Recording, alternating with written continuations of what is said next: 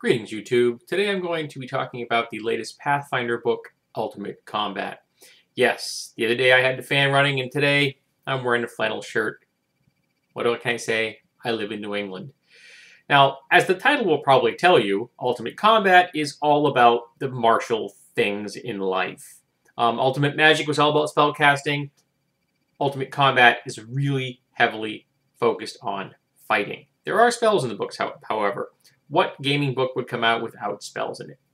Um, I'm actually going to be flipping through the book a bit in a moment, so I'm just going to a lot of page turning, so apologize there.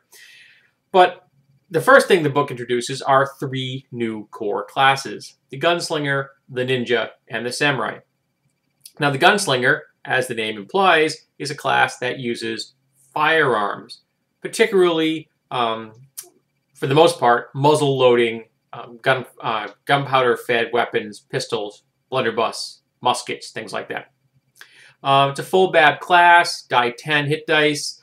Uh, you get simple martial weapons, proficiency in firearms, of course, and light armor. Um, overall, the thing that stands out the most for the, this class is that you get something called grit points, which are similar to the kinds of points that uh, paladins get and the kinds of points that monks get, they're basically allowing you to fuel your character class's abilities. And you can take feats and other things that will increase the number of grit points you have, letting you use your abilities more often. You can spend them in a number of different ways, making you be able to uh, shoot more quickly or more accurately, or by essentially, as you gain powers, gain levels, new abilities, which will let you do more damage, uh, and one of the things that I thought was really nice touch in this is that the firearms themselves seem fairly well balanced. But the one thing they gave them is that within the first range increment, and the ranges aren't huge on these things, early firearms weren't the most accurate things in the world. Um, with, but within that first range increment, all of your attacks are touch. So you're going after the touch AC of a target. And to me, that really suits the penetrating ability of a firearm. Yes, people are going to tell me how there were armors out there that did in fact deflect rounds. Congratulations. I'm glad. I still like this feature. I think it's a nice mechanical balance to take into account that firearms packed a whole lot of energy in a very small package. I think it was well done. Um, and I think that the fire, the, the gunslinger, the class itself works well. I haven't played it on free. I just read it. It, it. To me, it seems like it's very well balanced. And yes, realize that I am not a balance guru. I am not. I do not bow too deeply at the at the balance altar. If things kind of ballpark it for me, yeah, that looks good. I keep going. Um, there are people out there who are probably telling me how broken it is, and I'll just say, okay, if it's broken, don't use it. Um, the next is the Ninja three-quarter BAB. You get simple weapons, a number of martial arts style weapons appropriate for um, the Ninja, um, light armor. Uh, and you get all kinds of abilities that are part and parcel of the classic image that every Westerner is carrying in their head about what a ninja is. Doesn't matter if it has any relationship to real ninjas, that is pointless. This is a fantasy game, and this ninja fits the fantasy game really well. Now, a lot of people are going to say that the ninja and the samurai are going to limit your usefulness because they're Asian. And they are Asian, there's no denying that. But I think you could use both of these classes in a non-Asian environment. You strip the name ninja, slap another name on them, you know, shadow skipper, it doesn't matter what you want to call them. And I think you could use them effectively in a fantasy campaign by just filing the Asian numbers off. Okay, give them some unique weapons. Just use the stats in the book. Give them different names, and you're good to go. Okay, the key is they're using weapons that are probably not going to be commonly known to the people around them for specialty reasons. And so that gives them an edge. So whether it's giving them an edge if the weapon that actually is Asian or giving them an edge because the weapon has a fancy name that you've given it, doesn't matter. Um, I think they did a good job presenting the ninja. Uh, nothing about it screamed at me that was uber incredible or horrible. I think it was well executed. Um, I, I kind of like the fact that they decided to use a martial class that has roguelike abilities as opposed to a rogue class that has martial abilities. Because I think going martial with rogue abilities is a better focus of what a ninja is to my mind. Warriors that had stealth abilities as opposed to stealth specialists that had rogue ability, had fighter abilities. Um, and we have the samurai. And the samurai is all about the orders they belong to. They are, in essence, knights. And so they have to fair, swear fealty to someone, and those, those oaths they take, the orders they belong to, fuel a lot of the different abilities they have. Uh, full bab, all armor types, all weapon types, plus a number of classic weapons, the, the, the wakizashi, katana. You get the idea. You're familiar with what the samurai is. And again, I don't think you have to play them as strictly Asian. Change the name, give them different weapons that have very similar characteristics, and you could have Dwarven. Well, what Dwarven character isn't a perfect personality type for a samurai? The rigid clan structure of the Dwarven culture would be perfect for samurai. You just give them different names. Give them, instead of katanas, they have war axes or something along those lines. And I think everything in the book could easily be lifted up, moved over, and handed right to them without a hitch. Or you could say that the elves in your world are samurai. Maybe the elves are the Japanese culture, complete. Elven is Japanese. Maybe you're running a real world fantasy game where all of the Asian peoples are different races of elves, or one race, just different cultures of elves. Exotic flavor, and let's face it, tall, thin, black-haired elves are right out of anime, folks. They're, that's perfect for your anime style campaigning. Um, so I think they did an excellent job with all three classes. I didn't find anything broken or, or, or, or uber powerful with them. I'm sure that there are people out there who will say that both do. Um, both extremes have been met. But, you know, some people, if you hand them a bag of money, they complain about the color of the bag. Um, then we get into different character classes and the different archetypes they can have. Now, I love Pathfinder archetypes. Pathfinder archetypes are awesome sauce. They are what I have been waiting for for years because I have gotten really tired of prestige classes. Okay? I don't like the fact that you have to take a left turn.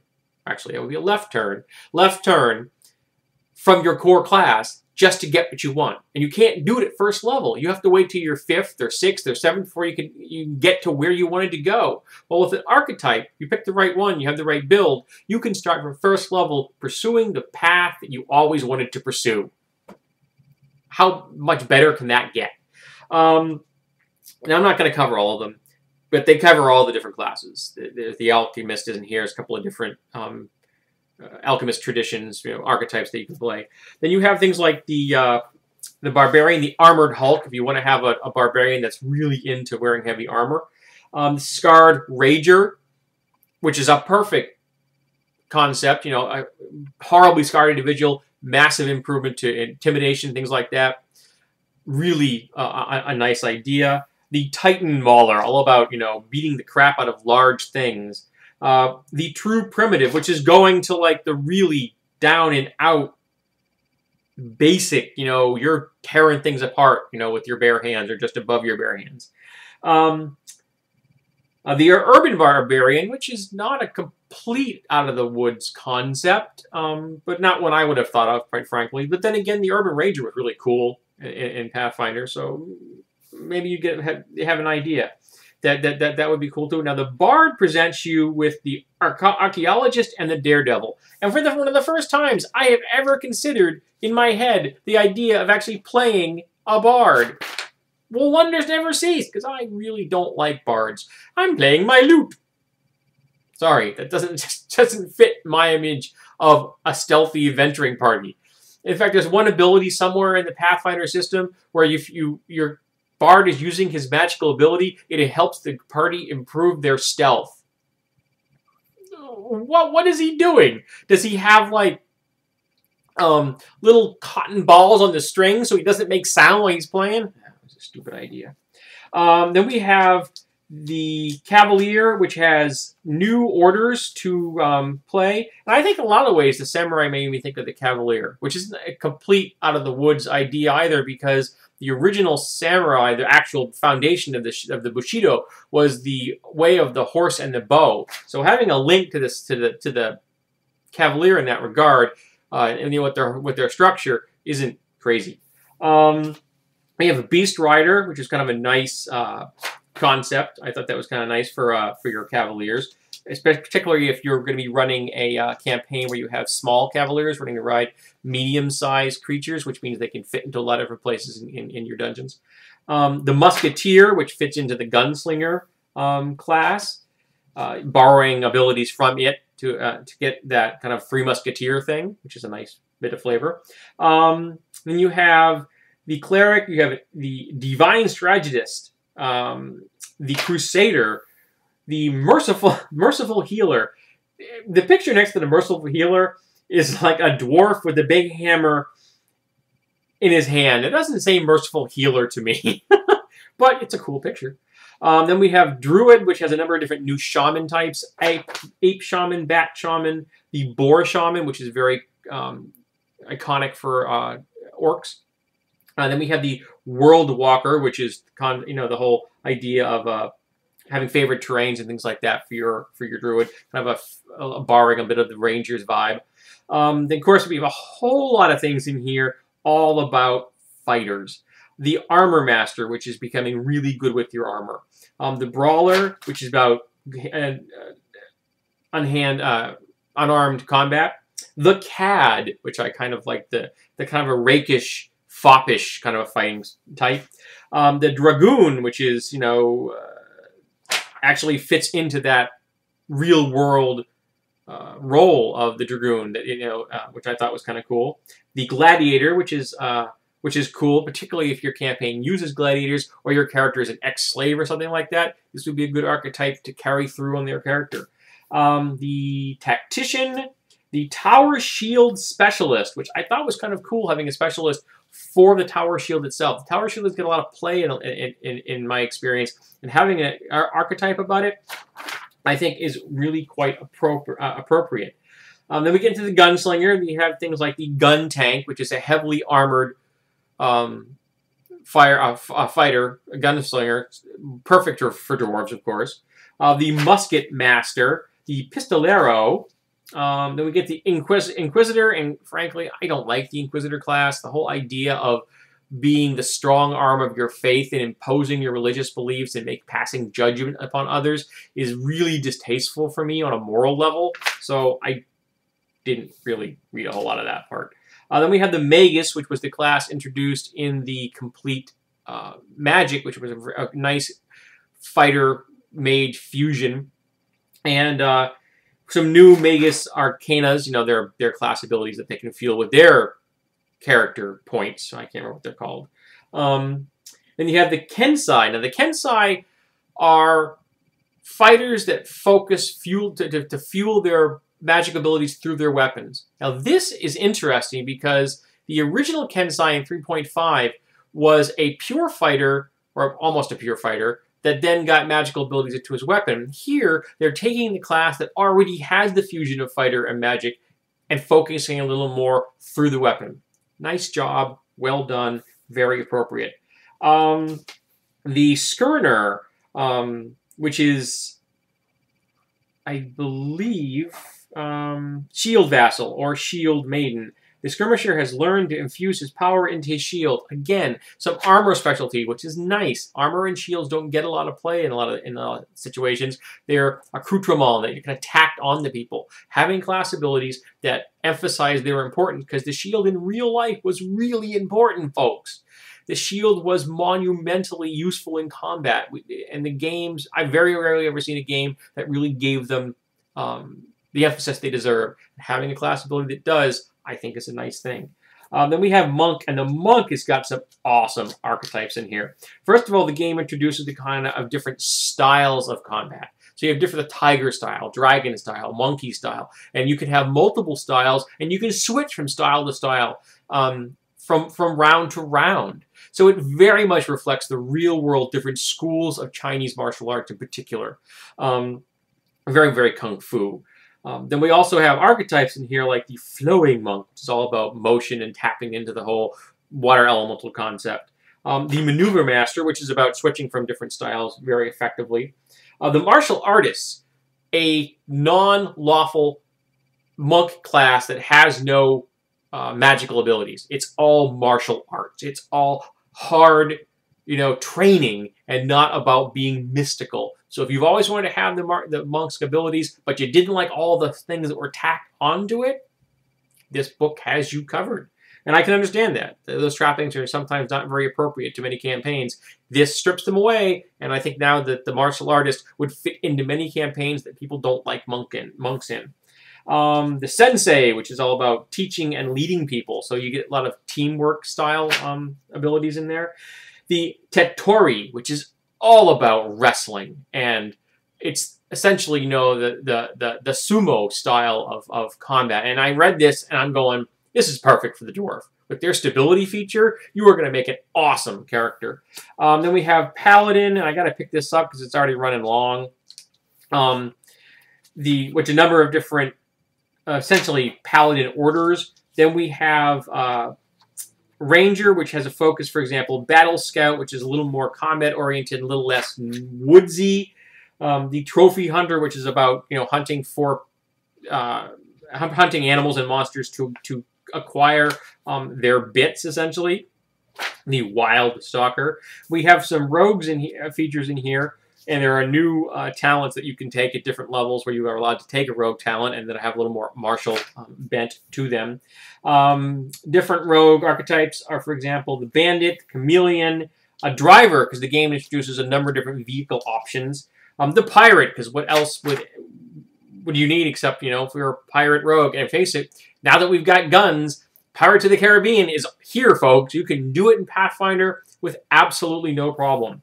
Um, and we also have a wizard, like a spell sling, a spell slinger, which is focusing your spells through a weapon, which I thought was nice. Um, then we get into a whole section on feats in here, and there are feats. I mean, the, just the, the the brief charts is like six pages long. Okay, there's a lot of feats in this book.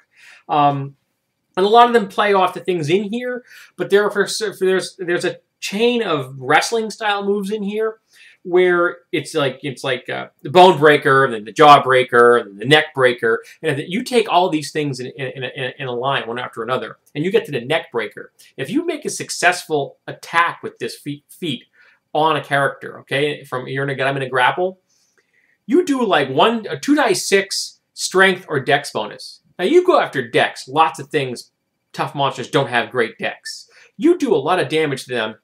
They're paralyzed. You just crippled them. You can just leave them on the ground and walk away. How humiliating is that to leave your enemy behind knowing he's just going to die? Very iconic in my mind of, of a badass character.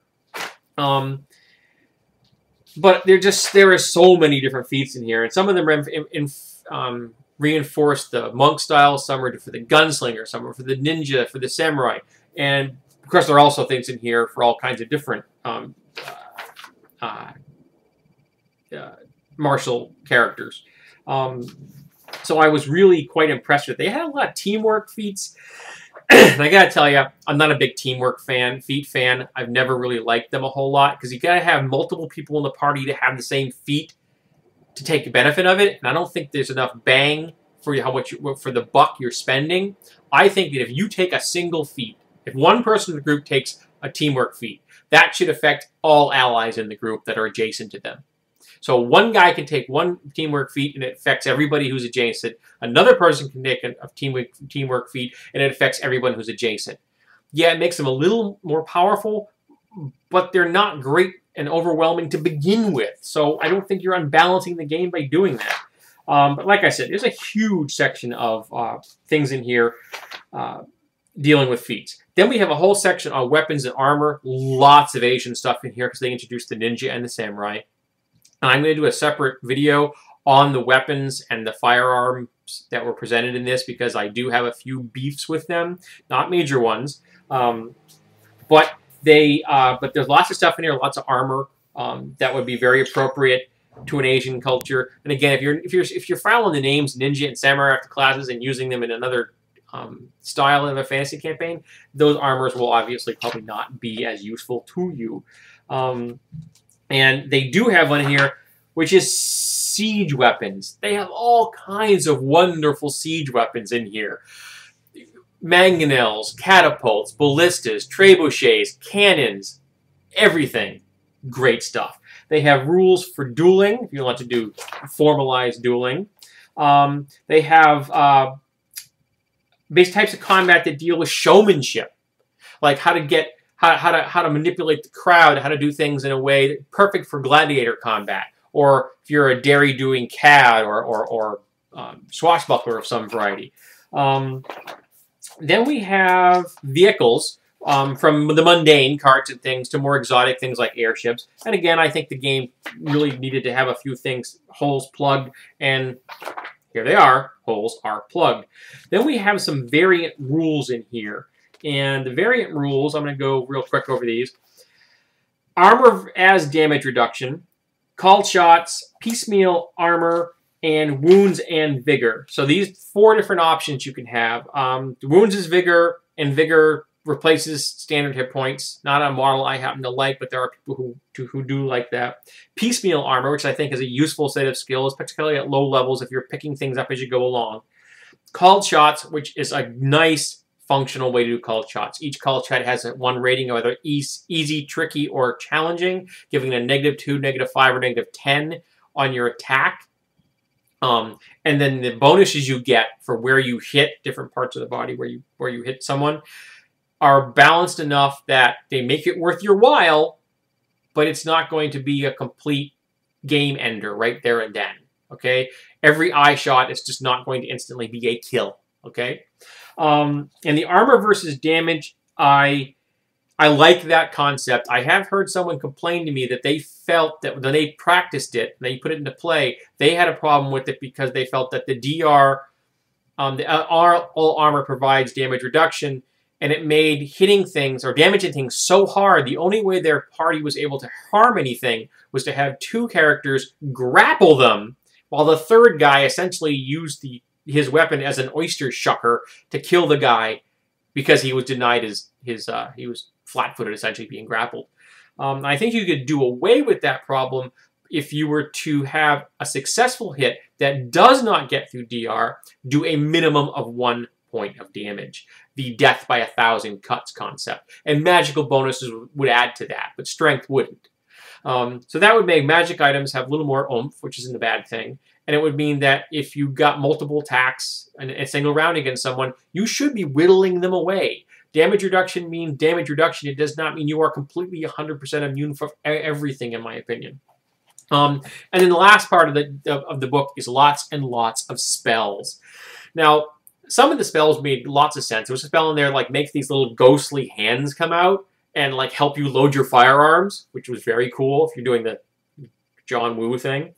Um, but there was a spell in there, a seventh level spell that creates an arcane cannon, which has a movement of 20, you can attach spells to the cannon, uh, the cannonballs, but the cannonballs only do 4 die 10 and only had a 50 foot range increment. This is the same level as Limited Wish. That seemed like a real waste of a spell in my book. It seemed far too low powered for a 7th level spell. Like, why would you do that? Why would you not just fly up and lob fireballs at somebody? What is the advantage of having a cannon that fires magic cannonballs? as opposed to just firing a third level fireball spell. It, it just didn't it didn't seem to be worth it to me.